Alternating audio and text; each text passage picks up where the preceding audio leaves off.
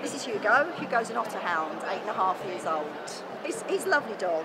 Um, he's got a fantastic temperament. Um, I've got two of his sisters also live at home. One of them is Cherish over there. They do make good pets, but they are a scent hound, so they are really a nose on four legs. Um, there are a few that are let off leads, but really you have to have a very, very safe area if you're going to do that. Majority of owners tend to keep on flexi leads, and they're quite happy with that.